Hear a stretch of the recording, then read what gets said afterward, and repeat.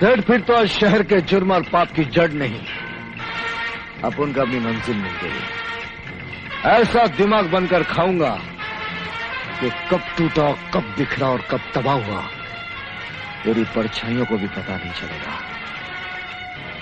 कसम, मदर, मेरी की